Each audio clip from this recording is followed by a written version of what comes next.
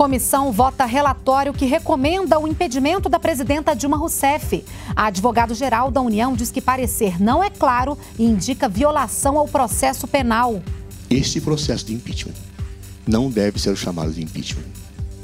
Se consumado, deve ser chamado golpe.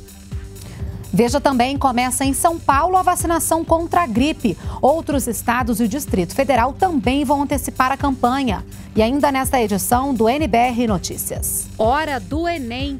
Estudantes que não têm internet em casa vão poder fazer simulados em uma instituição federal. Municípios vão poder aumentar o número de profissionais para combater o mosquito Aedes. O NBR Notícias começa agora.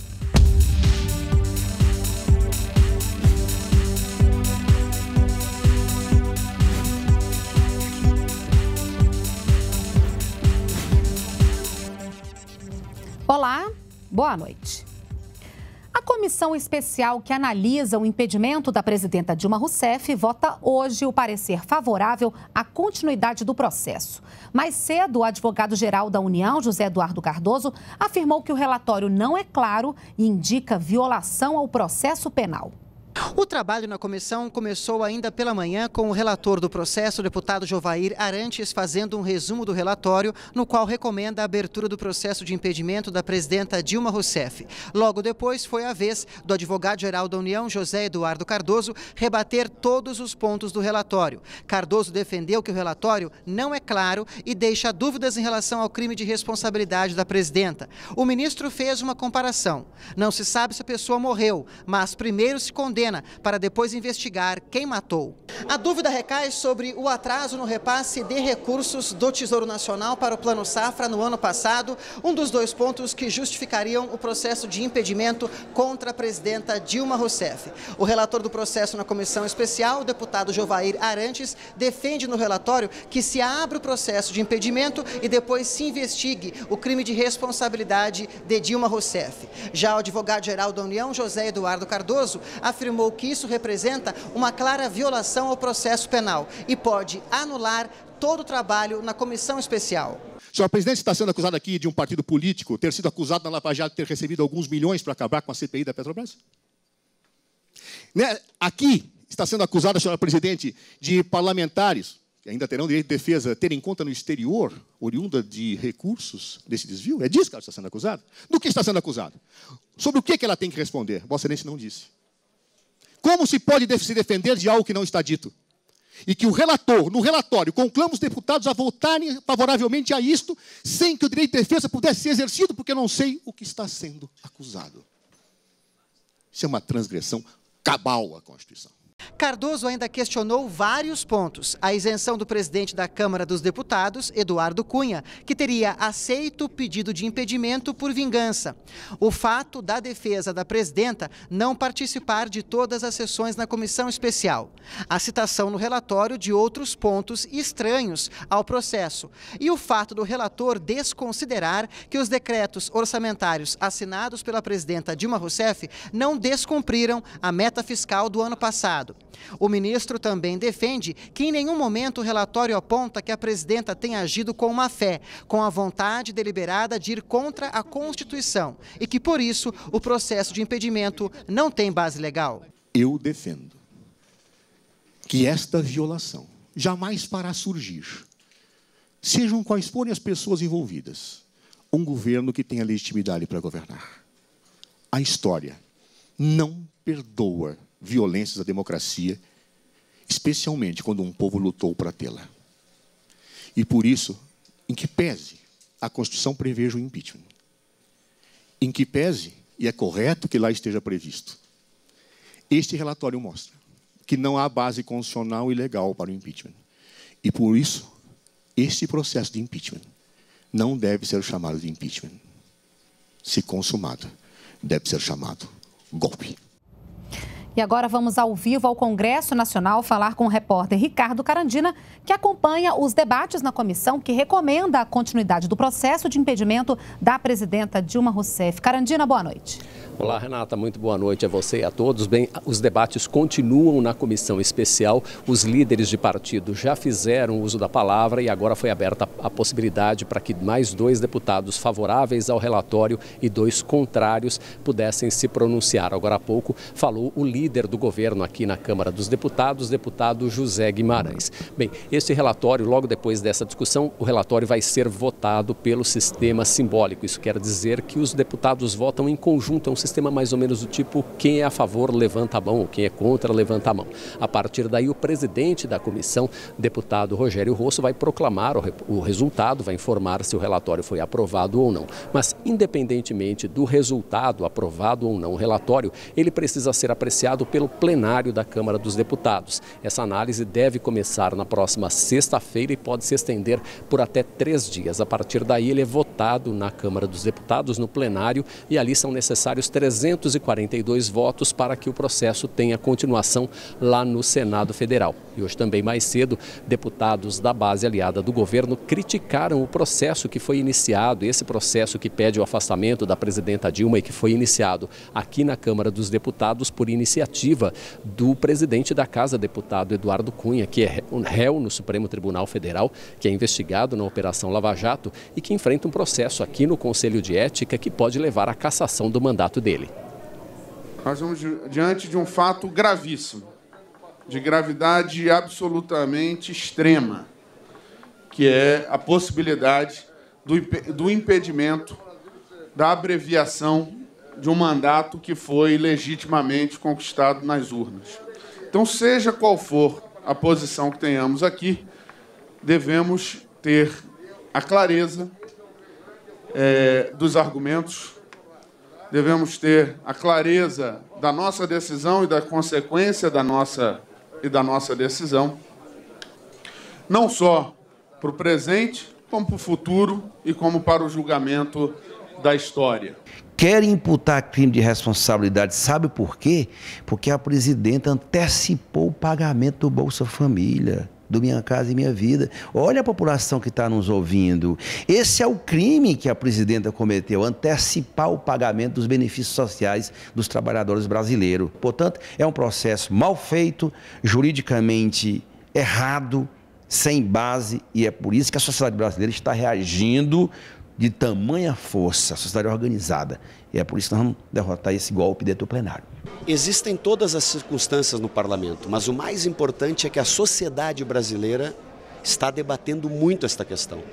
Uma pesquisa recente de um veículo de comunicação eh, indicou que quase 8% da população brasileira mudou de ideia e hoje já são em torno de quase 40%, 41%, quase 40% que são contrários ao impeachment.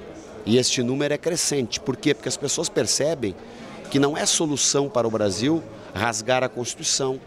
Ou seja, eh, as pessoas começaram muitas a compreender o que está por trás deste movimento, que é uma luta pelo poder.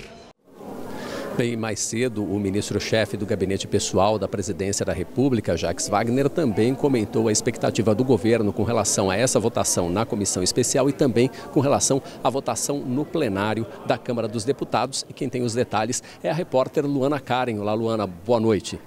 Boa noite, Carandina. Boa noite a todos. O ministro-chefe do Gabinete Pessoal da Presidência da República, Jacques Wagner, falou hoje sobre o processo de impeachment da presidenta Dilma Rousseff. O ministro afirmou que o exercício do poder gera desgaste e que o impeachment não é remédio para impopularidade. Jacques Wagner também se mostrou confiante em relação à votação do processo de impedimento no plenário da Câmara. Nós ainda estamos disputando três, quatro votos. Por enquanto, os pró ainda tem um número maior na simulação, mas de qualquer forma, o que é importante registrar é que é impossível que eles cheguem aos dois terços que deveriam ter, semelhante ao que eles precisam no plenário.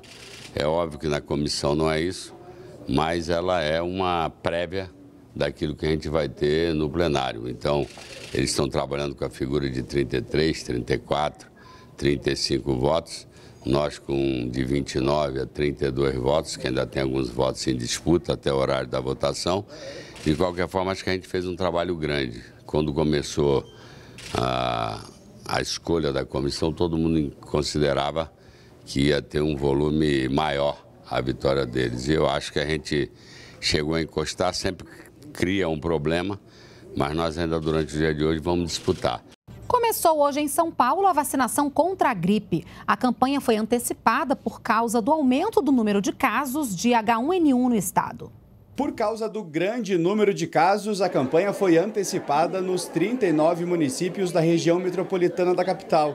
Esta semana vão ser vacinados os grupos considerados prioritários, que são gestantes, idosos e crianças de seis meses a cinco anos. E a procura é grande. Só nesta unidade básica de saúde na Zona Norte já tinham sido vacinados quase 400 idosos até às 11h30 da manhã. São mais de 450 unidades básicas que são na cidade de São Paulo mobilizadas para isso. A campanha vai ficar permanente e na outra semana, além desse público, nós vamos antecipar a vacinação para as pessoas de qualquer idade, mas que têm algum tipo de doença crônica. Jaqueline procurou logo a unidade de saúde para proteger a Nicole, um ano e meio. Coração apertado com tanto choro.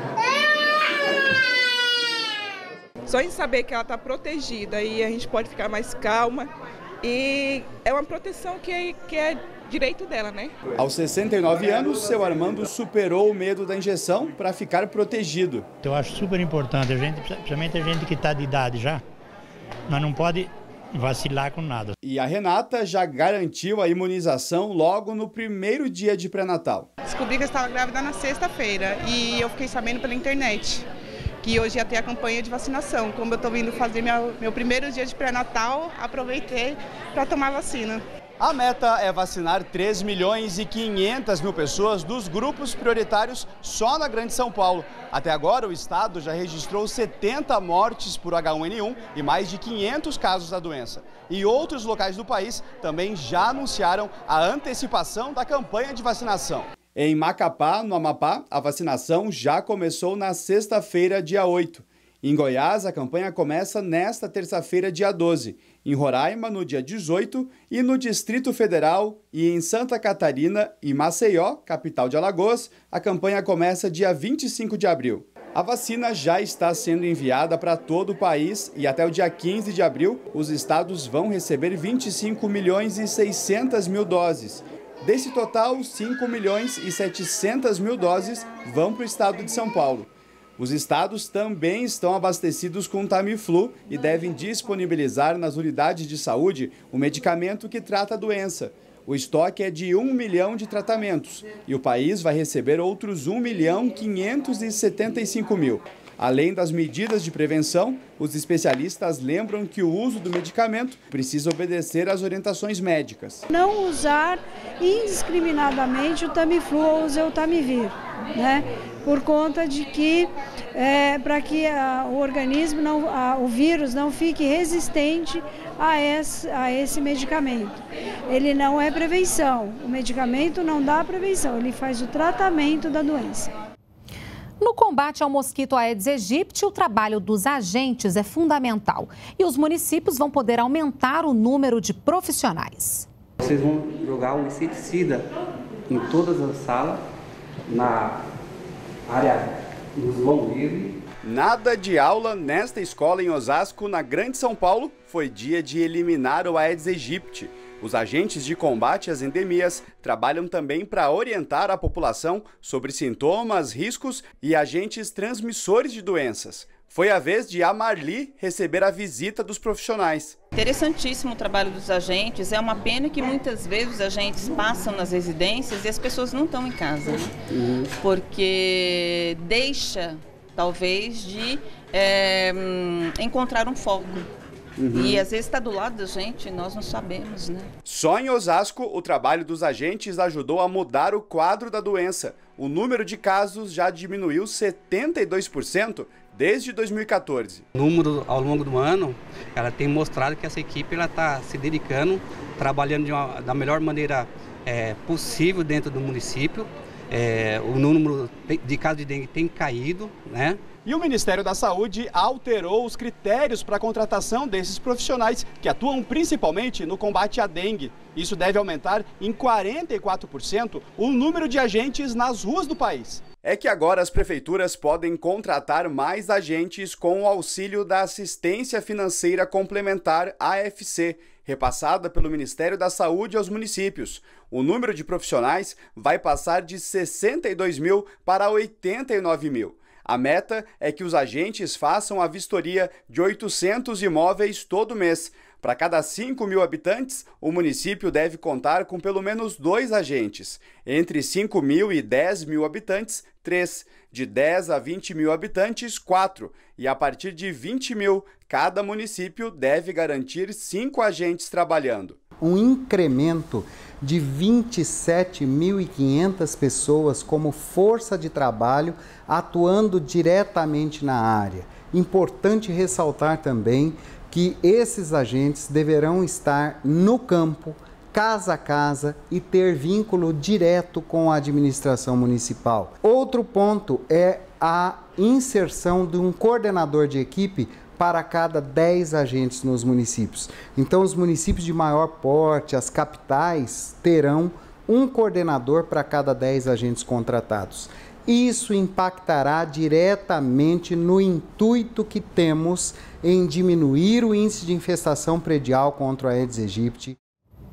E quase 35 milhões de imóveis foram visitados em março. De acordo com o Ministério da Saúde, em 3% dos domicílios e prédios públicos foram encontrados focos do mosquito. Os estados que registraram maior número de visitas foram Tocantins e Piauí.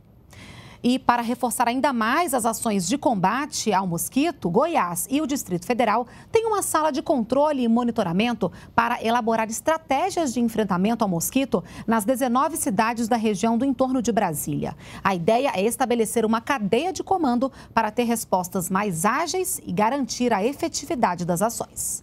Agentes do Corpo de Bombeiros Militar do quartel de Lusiânia, em Goiás, participaram de uma mobilização de combate ao mosquito Aedes aegypti em Valparaíso de Goiás. A ação envolveu mais de 200 pessoas, entre bombeiros, agentes de combate a endemias e agentes comunitários de saúde. Estaremos entrando nas residências, é, orientando a população sobre a importância de fazer a prevenção, eliminando alguns focos. Dona Francisca contraiu dengue há pouco tempo. Apesar dos cuidados que ela toma para evitar que o mosquito se reproduza, os agentes de saúde encontraram foco neste vaso sanitário. Acumulou água lá e sem querer, ó. Por mais cuidado que a gente tenha, mas é pouco, né? Já na casa da dona Neuza, tudo está limpo. Tirando a sacola de plástico, lixo, é, limpando o quintal e batendo veneno também. A mobilização aqui começou em dezembro e deve prosseguir. A ação vai até o mês de junho não é? é? nessa primeira fase. E aí, no segundo momento, no mês de junho, nós iremos avaliar esses trabalhos que nós fizemos e aí com possibilidade de estendê-lo até dezembro desse ano. Montamos uma sala nacional de coordenação e controle da mobilização para o enfrentamento do Aedes aegypti.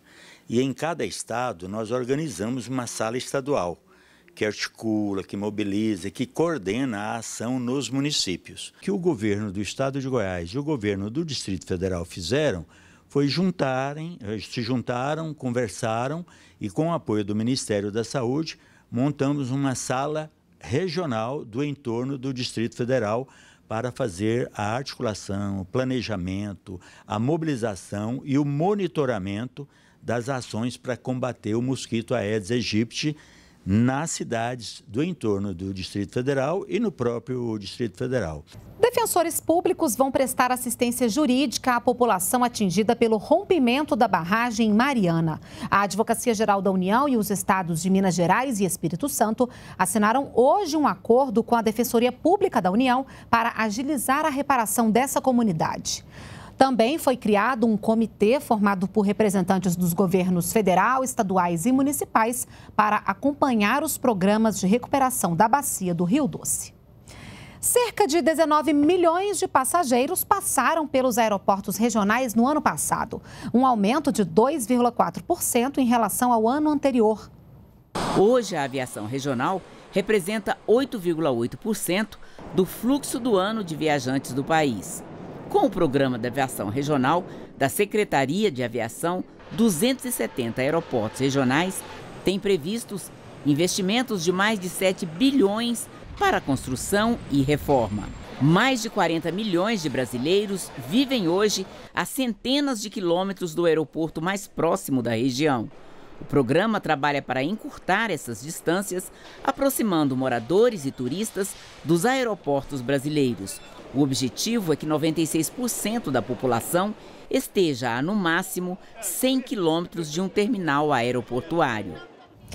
Quem vai fazer o Enem, o Exame Nacional do Ensino Médio, e não tem acesso à internet, tem só esta semana para se inscrever e participar dos simulados do Hora do Enem. A Hora do Enem é uma plataforma digital criada para ajudar o estudante a se preparar para o Enem. A ferramenta gratuita oferece exercícios, videoaulas e simulados. Além de todo o conteúdo interativo, serão oferecidos quatro simulados para todos os alunos inscritos.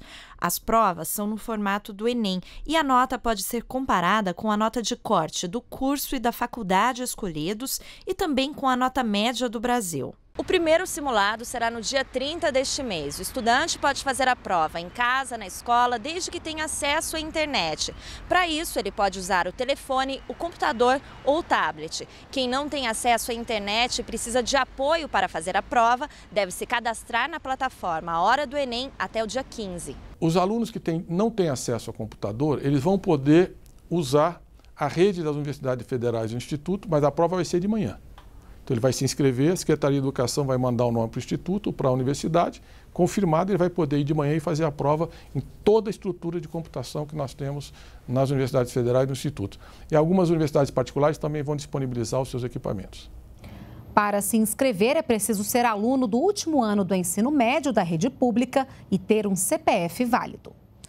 Vamos voltar agora ao Congresso Nacional com o repórter Ricardo Carandina, que tem mais detalhes sobre os debates na comissão que recomenda a continuidade do processo de impedimento da presidenta Dilma Rousseff. Carandina, daqui para frente, como será o encaminhamento do processo aí no Congresso Nacional? Bem, a partir da votação aqui, Renata, o relatório vai ser entregue, vai ser encaminhado à mesa diretora da Câmara. A partir daí, ele precisa ser lido em plenário, que deve ocorrer na terça-feira. Depois dessa leitura, ele vai ser publicado, provavelmente na quarta-feira, e aí se conta um prazo de 48 horas depois desse. De, 48 horas depois da publicação, o relatório está pronto para começar a ser discutido no plenário da Câmara dos Deputados. Isso deve ocorrer na sexta-feira. Essa discussão pode se estender por até três dias e a partir partir daí se faz a votação. Aqui no plenário da Câmara são necessários 342 votos para dar continuidade ao processo, que aí então seria encaminhado para o Senado Federal. Na comissão especial que está discutindo o relatório hoje, a votação deve começar a qualquer momento e foi proposta agora uma alteração. A votação não vai mais ser pelo sistema simbólico, mas vai ser pelo sistema nominal, em que cada deputado ah, indica o seu voto no painel eletrônico. A partir daí, então, vai ser possível saber exatamente o placar dessa votação. Mas, independentemente do resultado da aprovação ou não deste relatório, ele vai seguir aqui para o plenário para ser apreciado por aqui. Renata. Obrigada, Carandina, pelas informações ao vivo direto do Congresso Nacional. E o NBR Notícias fica por aqui. Outros detalhes sobre os serviços e as informações do governo federal no Portal Brasil. Para você, uma boa noite e até amanhã. Continue com a gente aqui na NBR, a TV do Governo Federal.